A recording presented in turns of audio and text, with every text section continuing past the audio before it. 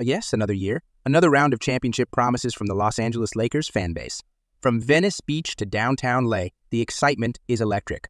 Every year, the roster shines bright, boasting names like LeBron James, Anthony Davis, and whatever star player they've managed to poach during the offseason. It's like clockwork. The hype begins, jerseys fly off the shelves, and Lakers fans start planning their victory parades before the season even tips off. This is our year. They scream from the rooftops, social media blowing up with wild predictions of how unstoppable the squad will be. Because why wouldn't they? After all, the Lakers are the Lakers.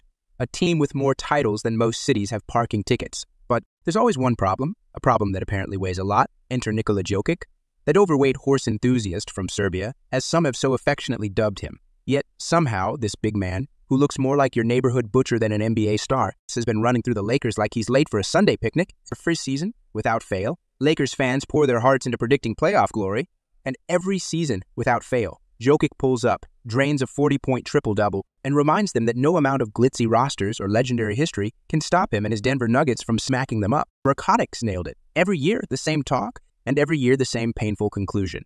Lakers fans claim they've solved the Jokic puzzle, only to get smacked up once again, as if they're surprised a guy who can casually toss no-look passes while standing still is, in fact, better than their much-hyped defensive schemes. But can you really blame Lakers fans for their optimism?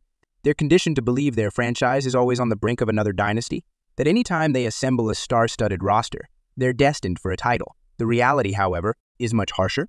The Lakers haven't been able to crack the Jokic code.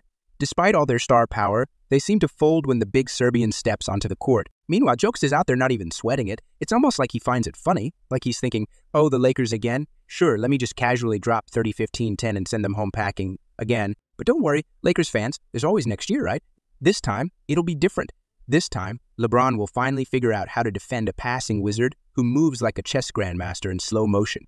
Because hey, it's not like Jokic is getting any better every season. Oh wait, so go on. Lakers fans, keep hyping up that roster. It's what you do best. But when Jokic comes knocking again, riding in on his horse with that disinterested look on his face, just remember this might not have the bright lights of LA, but they've got something better. A big guy from Serbia who's redefining what it means to dominate the game. The real question isn't whether Lakers fans will hype up their roster every year. It's when they'll realize that maybe, just maybe, Jokic is their kryptonite. Until next year, Lakers fans,